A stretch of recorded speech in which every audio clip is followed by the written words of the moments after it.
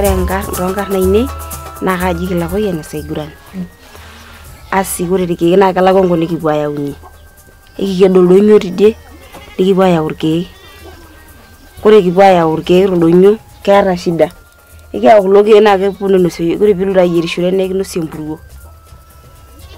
kemut iyiok ainosie iyiok empuruo nkonyek neeku ore igira ayierisho tene gira kegira aitanyamal oleng aya kore peekindip kore puruo kore ang In most Kenyan rural settings, firewood and paraffin are the predominant fuels of choice for cooking and lighting needs due to their low cost and the lack of available alternatives. These energy sources are linked to serious health and development impacts. Families often suffer from lung diseases and eye ailments from smoke and indoor air pollution and can spend a large proportion of their monthly income on wood and paraffin.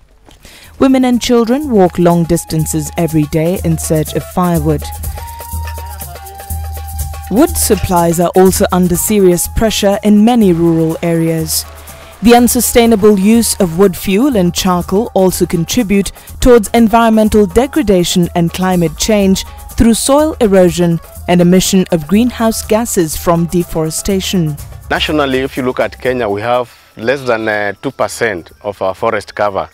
And um, there is need to increase tree planting activities for farmers, especially small-scale farmers, to practice agroforestry on their farms, to plant more trees so that uh, trees are able to absorb the carbon dioxide that normally is very harmful to the ozone layer. Climate stress is a reality in Kenya and many rural communities are witness to this. Building the resilience of communities to climate through many of the social and economic benefits of clean and environment friendly energy sources is more urgent than ever. Kupika na biogas kuna tofauti na kupiga na kuni. Moshi anasumbua mtu kwa jikoni, napika tu mzuri. Tena kama uko na haraka, unahakisha moto yako, unaharakisha unaenda. Sio vile unaakisha jiko, unakaa kuongojea masaa anaenda Hiyo ndio amenisaidia sana. Mradi wa biogas tulianza juzi juzi kitambo kidogo, tulienda tukapata mafunzo Nguruman na tukarudi tuka tukajiwekea biogas. Mbeleni tulikuwa tunatumia kuni na tunaona kama kupata kuni siku hizi ni shida, sababu msitu imekatwa, na pia imeturahisisha mambo ya kupika.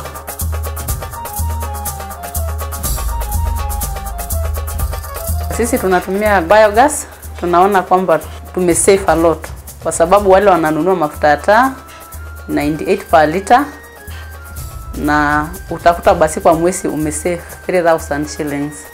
Kwa hivyo hatuna expense ya kununua tena mafuta ya taa.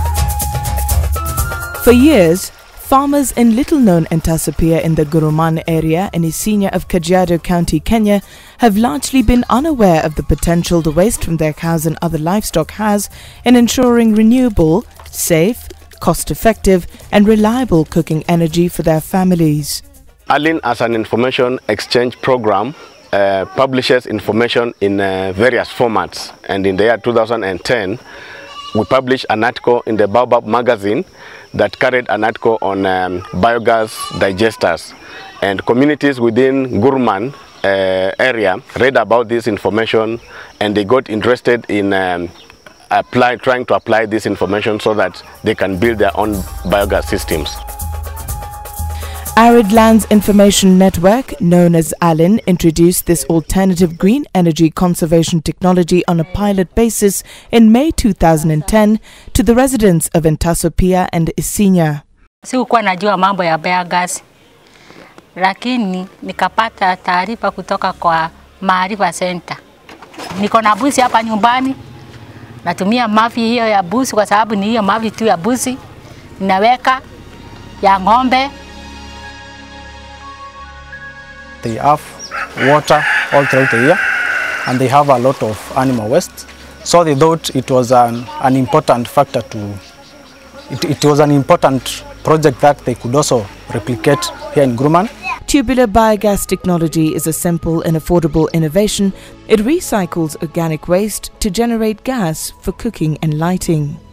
Biogas also has another uh, benefit for agriculture because uh, when uh, the, the process is made, what comes out, it's a slurry that is very rich in uh, improving uh, agricultural uh, production. Biogas is very safe because, yeah, it's very difficult to have a concentration that will lead to causing fire or, or explosion. To install tubular biogas technology, it's important to select a site near the kitchen. A heavy gauge silage tubing digester measuring 10 meters by 3.2 meters is then placed in a V-shaped trench. Both the inlet and outlets are fixed by tying extra duty PVC pipes to the silage tubing. The next step is to fix the gas outlet at 1 meter from the inlet pipe and then make the connections from the digester to the kitchen using PVC pipes, gate valves, sockets, nipples, and flexible tube for connecting to the specially fabricated biogas burner.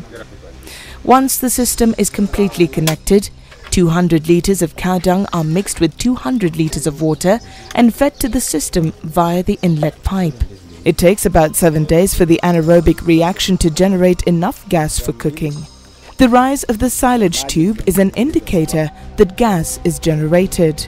Unaweza install, unaweza weka mahali uache uwazi, pengine mbusi sikanyange ama ng'ombe, na pengine italete madhara, lakini ikizeekwa mahali imewekwa vizuri, nafikiri challenge ya kukanyangwa ama athari ya kukanyangwa itakuwa hakuna.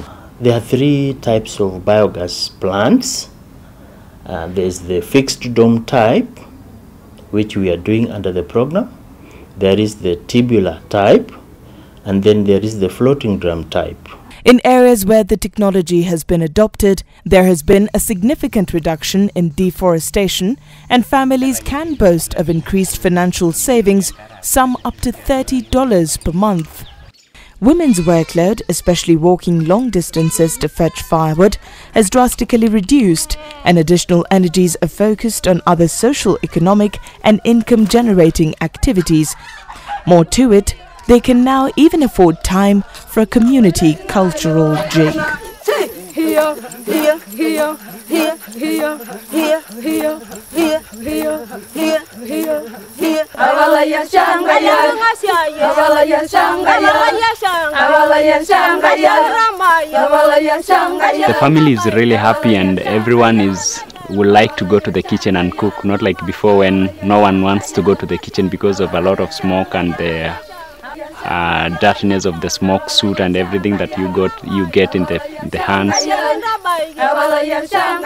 The Kenyan government, key stakeholders, as well as other communities, can learn a lot from the success story of the Entasopia Biogas project. We have designed a new program called Greening Kenya Initiative.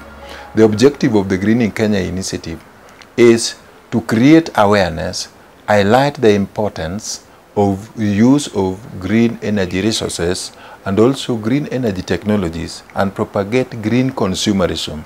Because most of these interventions which if taken at the higher level or at the top then they are not properly diffused at the bottom level.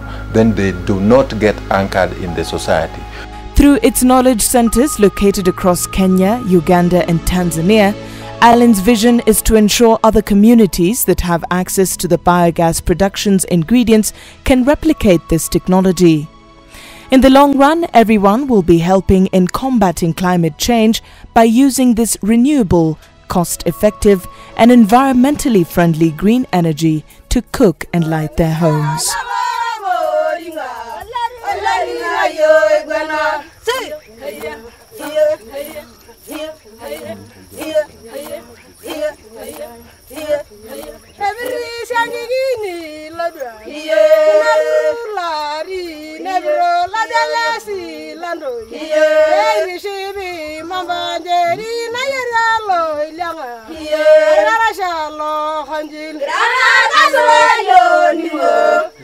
Brava!